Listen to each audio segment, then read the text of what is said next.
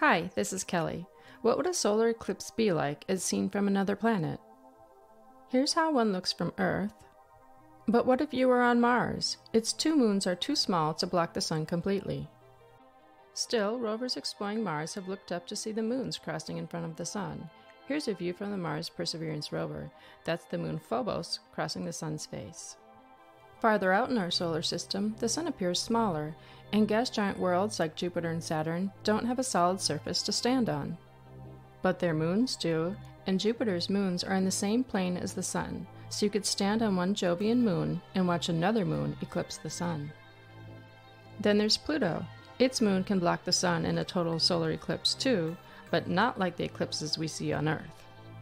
From Pluto, the sun looks like a distant, bright star, so the effect wouldn't quite feel the same. We're EarthSky, and I'm Kelly Kizer Whitt. We're counting down to the April 8th total solar eclipse. On February 5th, we're 63 days from Eclipse Day.